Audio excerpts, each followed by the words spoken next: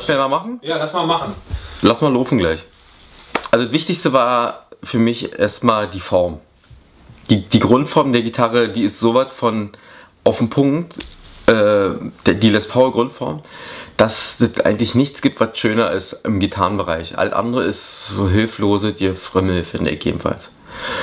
Dann der Name, den finde ich gut. ähm, das, war erstmal, das waren erstmal die Grundvoraussetzungen. Und ähm, da ich jetzt die Möglichkeit hatte, meine Wünsche zu äußern, äh, habe ich erstmal alles das weggelassen, was ich nicht brauche.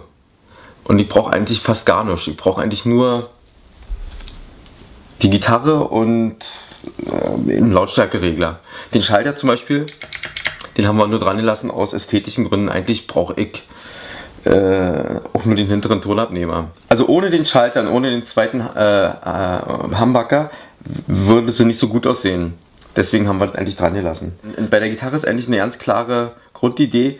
Alles, was Gitarre ist, ist, aus, ist schwarz, also aus Holz. Und alles, was nicht Gitarre ist, ist aus Metall.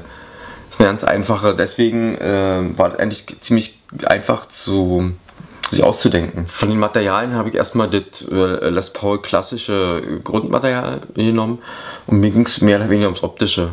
Im Gegensatz zu den normalen Gitarristen habe ich praktisch wie eine Frau das Auto nach der Farbe aussucht. Ich will ein rotes, egal was es für eine Sorte ist, habe ich die Gitarre im Prinzip mehr so nach, also wie ging um 99% um, um die, ums Aussehen. Ich habe mich eigentlich ja nicht darum gekümmert, was das jetzt so ein Holz ist und so was alles. Und die Tonabnehmer habe ich von Metallica abgeguckt.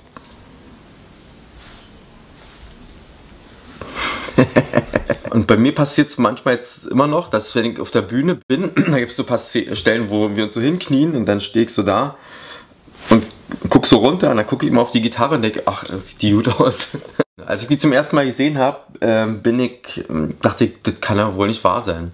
Jetzt hat sich so ein bisschen relativiert, ich habe mich schon ein bisschen daran gewöhnt, aber ich fand sie optisch extrem gut. Und klang nicht sowieso. Äh, in meinem Fall ist es so, ich brauche wirklich eine Gitarre und ich brauche auch wirklich eine Gitarre, die ich benutzen kann. Und ich habe auf Tour nur eine Gitarre, mehr brauche ich nicht, in verschiedenen Stimmungen und natürlich auch die Ersatzgitarren. Aber ähm, ich habe praktisch mir von Gibson die Gitarre bauen lassen, die ich auch wirklich brauche und die ich auch benutze und die ich auch ästhetisch gut finde.